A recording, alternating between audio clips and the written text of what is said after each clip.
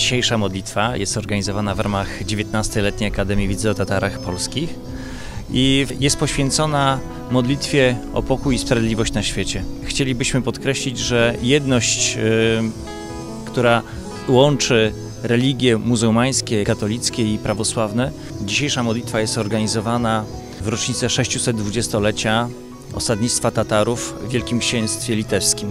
I chcielibyśmy pokazać, iż to miejsce, które jest pomnikiem historii, pomnikiem tolerancji, pomnikiem wolności oraz tego, że wspólne nacje, różne kulturowo i różnie religijnie mogą ze sobą współistnieć tu w Polsce. Tu w Polsce, która doświadczyła wiele krzywd i wojen, a mimo to podniosła się, tak jak mogą się podnieść inne kraje na Bliskim Wschodzie. Ja mam nadzieję, że ta modlitwa, która jest prowadzona przez e, Kościół katolicki, prawosławny oraz e, wyznawców religii muzułmańskiej, będzie takim symbolem dążenia do, do pokoju i, e, i też sygnałem dla, dla innych, że te religie mogą ze sobą współistnieć. Bochoniki to miejsce, w którym prawie od 340 lat żyją obok siebie Polacy, muzułmanie, polscy Tatarzy. I, to jest dowód tolerancji. Przed wojną Polska była wielokulturowa. Teraz została garstka Tatarów, mamy mniejszość białoruską i Polacy mają bardzo dużą wdzięczność za wkład w rozwój naszego kraju mniejszościom narodowym, ale także te mniejszości narodowe oddają wszystko, co mają najlepsze, aby Rzeczpospolita rosła w siłę. الله أكبر الله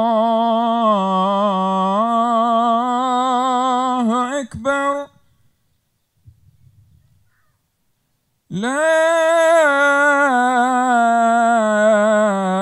إله إلا الله.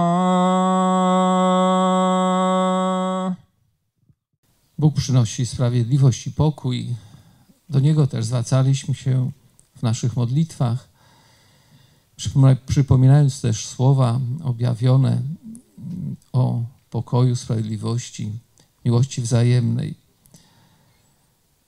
Cieszymy się, że możemy w taki sposób się spotykać, że możemy dostrzegać w naszych religiach, kulturach to, co służy zbliżeniu, pokojowi, co buduje sprawiedliwość, co pozwala nam wzajemnie trwać w tych miejscach, gdzie mieszkamy, jesteśmy, wzajemnej życzliwości, zrozumieniu, w pokoju i to tym ze sobą nawzajem się dzielić.